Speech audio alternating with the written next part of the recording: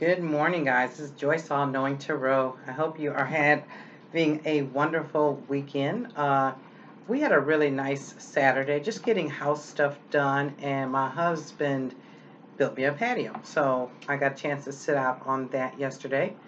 Um, today, I'm going to do a pick a card. I haven't done a pick a card in a minute. So I'm going to do a pick a card. Now remember, when I do my pick a cards, which I'll show you the cards in a minute, when you decide do you want pile number one, pile number two, or pile number three, be certain that you don't pick with your mind. Okay, put your put your mind to the side, and let your um, pick be based on what you feel. Go down to your gut, and go down to what feels really good to you, and then make your pick. All right, guys, we'll be right back. Okay, we have the cards for pile number one, the pyramid. Let me move this out of the way. Card number one. So, what will your life be like after the pandemic? Boy, you get the Eight of Wands. Life is going to move for you at an incredible rapid speed. If you've been sitting around bored or wondering what you were going to do with yourself, no, ma'am, here it comes. This can include travel. This could include uh, that job opportunity that you've been waiting uh, to hear from. It could also be contact from friends. Um, this is definitely about things happening in your life quickly. So if you've been looking to get over and get on, this is it. Because eight, the number eight always reminds me of splendor and is what it really means. So, splendor, intelligence. So, you've got an opportunity coming for you, and it's coming quick, fast, and in a hurry. Um, I have the King of Swords. The King of Swords, um, as an energy, this is about clear thinking, good judgment, uh, sharp intellect, um, looking you in the eye, telling you like it is, uh, straight shooter this um, could be in terms of a legal situation you were looking for an outcome, um, and it comes to you quickly and in a hurry. This could also be someone that you know. That this could be a individual. This would be someone that is an air sign, a Gemini, a Libra, Aquarius. There's even in there, as I look at those eagle eyes, there's some Scorpio in that as well.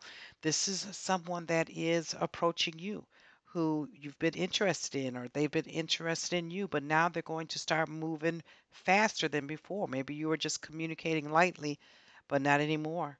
With that eight of, let me turn this this way so you can see. With that eight of wands, that speaks of fast movement. So this person is either it's law and it's an attorney, judge coming at you quickly, or there is a new opportunity, a new boss that is um, one of the air signs or Scorpio, and fast movement. Ten of Cups. So I I think this has to do with your relationship. There's a lot of cups here. There could be some relationship, but there is the absolute happiest right there. Ten of Cups. You are satisfied. You've got a couple of cards like that that speak of being, I'm satisfied, I'm feeling good.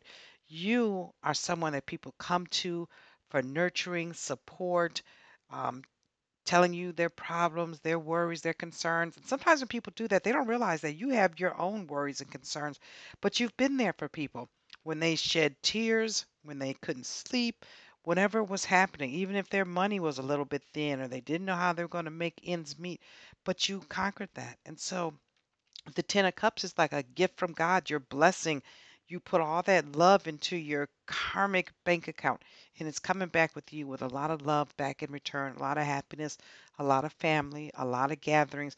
That's what's happening to you after the pandemic. A lot of getting back together with those friends, groups. It could be groups of friends that you hang out with. Maybe you go bowling, maybe you play cards, but they'll be coming back around again.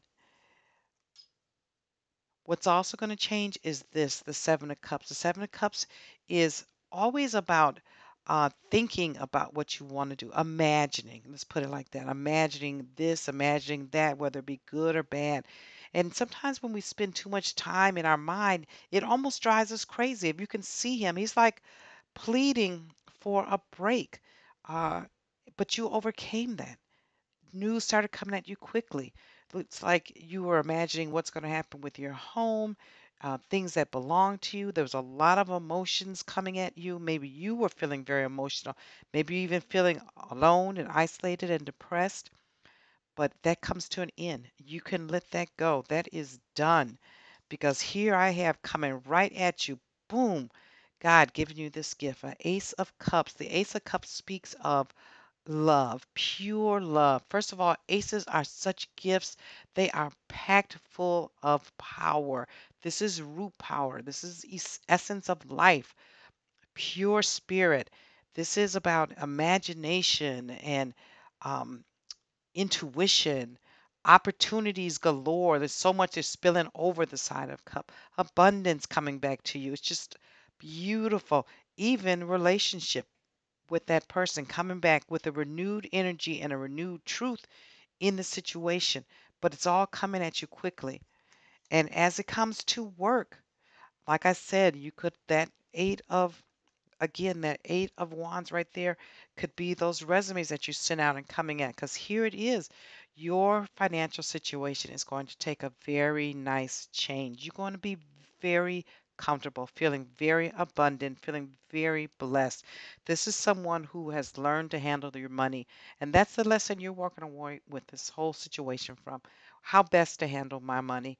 Put something away. Take 10%, put it away for a rainy day or whatever and I'm not going to have to worry anymore. It's terrific for you. And lastly, you get the Four of Cups. The Four of Cups can often be very misinterpreted as if someone is so spoiled, they're so selfish, or they're not getting their way. It's not. It's really about this young guy has been offered all these cups. They're all gifts from God. And he's not saying, oh, that's not good enough. He's saying, thank you, God. I've got enough. I feel good. I'm filled up. You've blessed me so much with abundance and gratitude and good health and friendship and family. You went from feeling like this, wishing, hoping, wanting, praying, begging on hands and knees for whatever it is you needed, and you went to this that says, look at that, look at the difference in these. This this card almost looks like somebody's having a psychotic breakdown. All these different images. There's a lady with her eyes closed. There's a book that speaks of work or finance. There's a couple that that's no more. The cups are all broken. The money is broken. You're broke, feeling broke. Those words I hurt. I I hate, I should say. But here he is satiated and satisfied and content. And that's you. So once this pandemic is over, your life is coming back in a fast way, but in a better way because you learned so much. Thank you so much, group number one.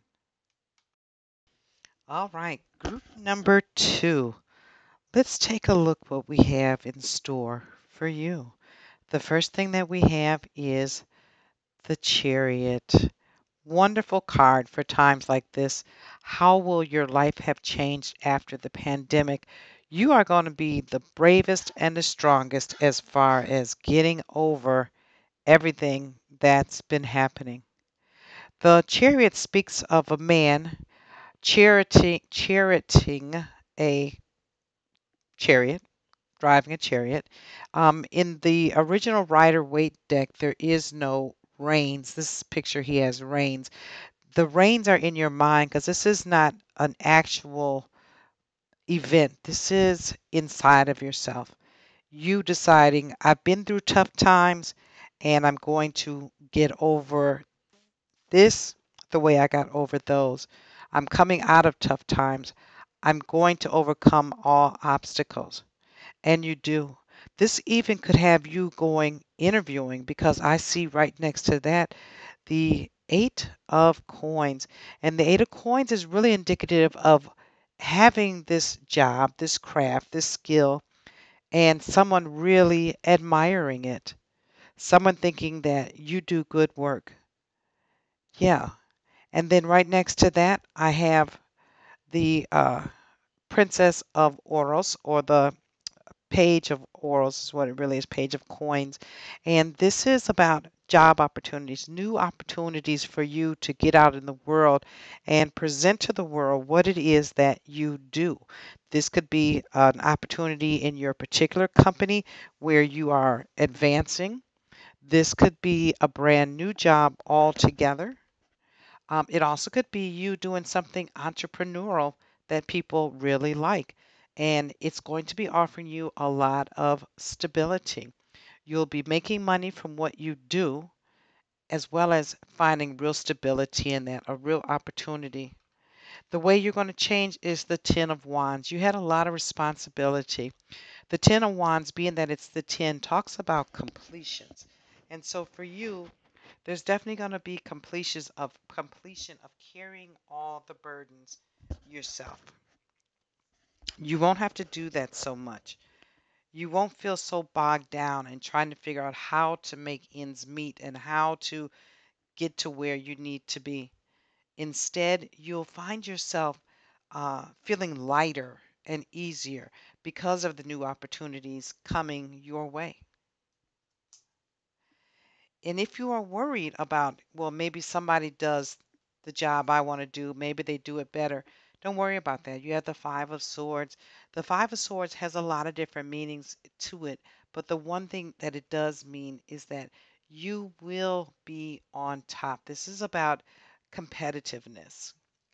And it's a lot, like I said, but competitiveness plays a part in there. And it shows me that whatever this opportunity that you want to do, there's going to be competition. There's other people going for that job or other people that want that position. Or maybe you're doing a YouTube channel or you're starting something on your own and other people do it, but you'll do it better. Trust me. Bring yourself to the table and people are going to want to see you.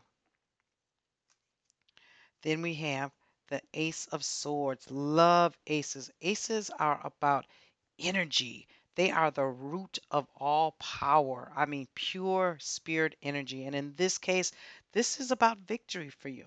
This says that when you go in and do your work, you really can do it. You really are good. You really deserve to be picked. Number one, if you look at that sword, it's almost as if it's a phallic symbol because it stands so potent and so ready for whatever comes your way. And you have the ability to cut through all the BS and get to the point where you are fantastic. You are sharp as a razor in your mind, okay? And in the actions. Because, like I said, ACE is about power and action. And yeah, this is a gift from God that says, don't worry about the competition. Don't worry about if you can do it. Forget about those burdens. I'm starting you brand new. And lastly, for you, there is someone new coming in your life. Now, listen, this could be a relationship, this could be a boss, okay? It actually even could be the person that you're dealing with. This is someone that is a fiery person, a Sagittarius, a Leo, um, an uh, mm, an Aries. Oh, yeah, it could even be a little Capricorn. I could see in that. But this is someone who, in Sagittarius, did I say Sag? But this is someone who would, first of all, make a great boss. This guy is a great manager. Um, he is passionate. He makes plans. He follows those plans through. Um, he's someone that you can easily talk to. He does not tell your secrets. He's approachable. People line up to talk to this guy because they like him. He's very charming and he's warm. He's fun, but he is about his business. In addition, this could be someone that you are with or someone you're going to know that says, you know what, we're going to reinvigorate that situation. We're going to bring that energy that, comes from the ace, we're going to bring it back into this particular relationship and start putting the love where it should be, the friendship where it should be, because this also lays not only by the the sword, the ace of swords, but also lays by the responsibility card. So this one could be there to help you with your responsibilities. Like I said, uh, if you had a manager, he would be helping you to take care of your responsibilities. If you're in a relationship, this person has already been helping to support you in the little way that they could, and they will continue to. So, group number two, fantastic. Good luck to you. Um, Capricorn, Virgo. This could be someone that you are in a relationship with, um, or trying to get in a relation, relationship with. It also speaks of people who are bankers and financiers that you're going to be able to talk to. And this person is, he's solid, um, can be a little stubborn, can be a lot stubborn actually. Um, he really has to think things through before he makes a decision. He likes the nicer things in life. His work means an awful lot for him. He puts a lot of energy into making things better, either for himself or for you. Um, we see the Capricorn up there, the top Capricorn en- energy right there with the billy goat. Um, this is someone that has prosperity or want to have prosperity. So this could be right away you talking to somebody, maybe someone who owns your home, maybe the person at the bank. Um, it very well could be the landlord. Um, this also could be speaking of work and career, someone that owns a business that wants you in there. Um, the next that you have is the Two of Pentacles. And it says that you were juggling things during this pandemic, and you're still going to be juggling things, but you're okay. This person is going to be an assist to you. This guy, this money guy, whether it's uh, someone that you're in a relationship with, like I said, or a boss, or even going and getting a loan. Um, but this person is going to be there to help you to stay balanced and stay upright and keep your money in check. Um, we have the death card. Fabulous card. One of the best cards if you understand that death card doesn't mean death to you, dead. It means that the old way that things were for you all, the way things that the way you lived your life, or maybe habits that you had, um, the mentality that you had. He's coming, he's clearing this out. If you take a look in that card, I don't know if you can see it, but there's old gravestones and skulls, and it's rather dark. But what it's saying is that there is, in the end of the day, right behind him is the sun. So you had to get rid of the old to make room for the new. And the new is going to be fantastic. It talks about splendor and really using your mind the right way. And I think this is really going to go with um, it goes here. This is the Six of Cups, but I think this is also in terms of relationship. The relationship wasn't right, it wasn't working. Whoever you were in a relationship with, and that relationship could be someone you were working with, collaborating with, it could be a romantic relationship. It needed to die the way that it was. trying to get my hands here out of the way. It needed to die the way that it was. And now it's going to be much better and much different. It's going to be more balanced. It's going to be more about getting along. Let's see if I can get that better. Much better, much better about getting along. It's going to be um, this person coming back in. It's like the relationship had ended and the pandemic didn't do anything but add extra stress onto it. And then you guys started talking or will be talking, and then this person comes back in. But it's not the way that it used to be, where there was um, distance or cold heartedness or selfishness, or you guys didn't have anything to talk about really. It was intimacy, and that was about it. No, it's coming back so much better. There is light now.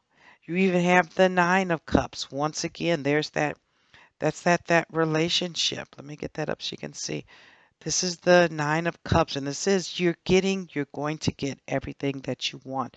This talks about emotions and prosperity, um, just beautiful living, you inviting someone into, or in this case, back into your life because you have the Six of Cups, and that speaks of nostalgia.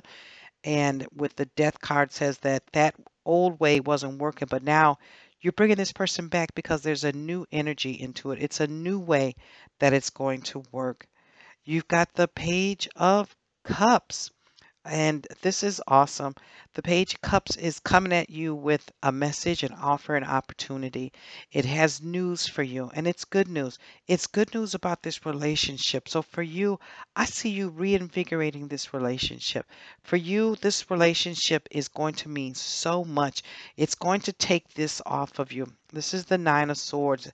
Nine of Swords really speaks to someone that is losing sleep, is anxious, nervous, worried constantly thinking about how I'm going to make it, what's going to happen to me, where will I live, how am I going to pay this bill and that bill, all of that. But there's help. You've got help right there. You've got help. So for you, you are going to be fantastic. You've got help help coming into your life. You're going to be able to juggle all your responsibilities, financial and otherwise. There's going to be renewal of a past relationship for you that you thought was over. You were mad. You were mad at first. You didn't want to be bothered with it. That you thought they were selfish or they didn't care or they were messing around or had eyes for other people. But it's going to come back to you reborn in a beautiful way. It comes back almost nostalgic, almost like fresh, because even in the midst of rubble and something torn down, beauty can still grow. You can still find a beautiful flower in a patch of weeds. And not only that, you're going to like what's happening. You're not just going to listen anymore. There's going to have to be solid action. And then you are bringing this person right back into your life for something so much better with not just words, but real actions, real magic happening. And you're going to be so happy because he's going to help you take off some of those worries and your burdens that you don't need to carry anyways. And know that there's always help available. You're not far away. Our our god our universal energy is right here with us. Um group number three congratulations